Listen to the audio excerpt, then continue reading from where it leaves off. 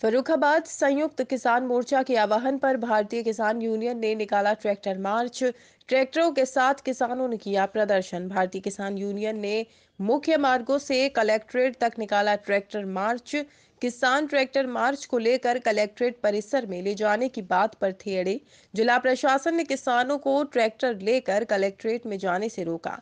जिला प्रशासन ने कलेक्ट्रेट परिसर में एक ट्रैक्टर के साथ किसानों को अंदर जाने की अनुमति दी। किसान कलेक्ट्रेट परिसर में अनुमति के बाद धरने पर बैठे। किसानों ने राष्ट्रपति के नाम एडीएम को ज्ञापन सौंपा फतेहगढ़ के कलेक्टर परिसर का मामला।